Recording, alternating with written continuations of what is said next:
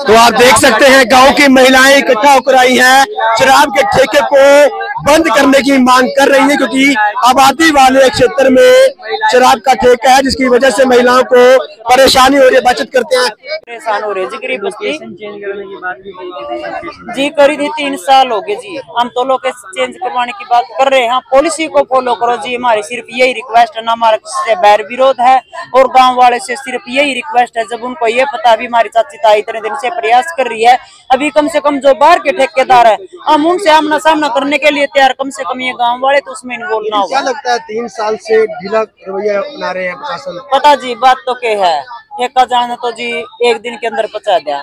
अगर ये गाँव वाले के बीच का मैं ना हो। सरपंच कुछ नहीं कहते क्योंकि मजबूरियाँ हो जी जी परिवार गाँव से हाँ पारिवारिक रिश्ते नाते भी है भाईचारा भी है तो दबाव हमारे ऊपर भी आवे जी। जो हटरे नहीं दे रहे गाँव से ठेका गाँव के लोग उनको क्या फ़ायदा हो रहा है?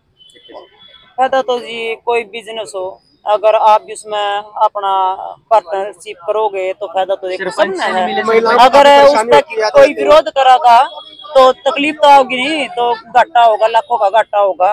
तो ये वो लाखों का घाटा खाने के लिए मैं तैयार नहीं है।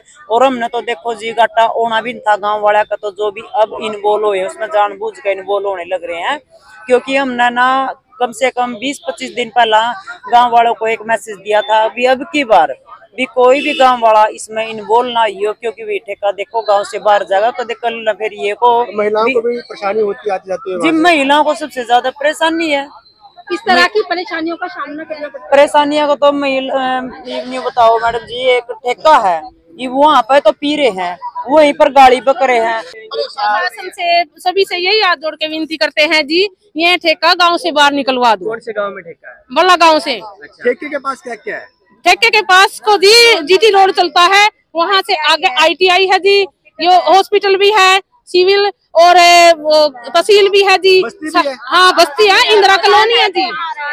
इंदिरा कॉलोनी है जी। आस पास में सात घर बने हुए हैं तो ठेके वाले से बात की आपने कभी?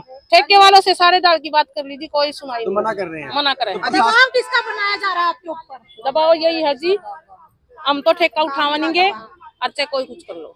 है गाँव के दबाव बनाओ है भाई अपने घर बैठ जाओ बाहर ना निकलो। अधिकारियों से भी मिले हो? कितनी बार मिलो किस किस बहुत बार मिल लिए। तो दो साल हो गए मिलते हैं ना। तीन साल पूरे हो गए हमने तीन तीन साल पूरे हो गए जी। तीन साल पूरे हो हमारी कितने भी सुनाई नहीं हो रही तो बिल्कुल आप देख सकते हैं गाँव की महिलाएँ यहाँ पर पहुँची हैं शराब के ठेके को बंद करने की मांग है। तो कितने साल से ठेका चल रहा है वहाँ पे? हम भी परेशान हो रहे हैं जी। बड़े से आ रहे जी। परेशानी हो रही है? हाँ बड़े परेशान हो रहे हैं। कोई बच्चे नहीं बाहर निकल सकते बहू नहीं बाहर निकल सकते। कॉलेज में भी ये ले हैं। भाई बहुत परेशान हो रहे है, हैं तीन साल हो गया हम तो जमाकती का निकाल दिया हाँ सरपंच भी साथ आया? हाँ सरपंच को यहाँ आप देख सकते हैं काफ़ी संख्या में जो महिलाएँ हैं वो यहाँ पर पहुँची हुई है।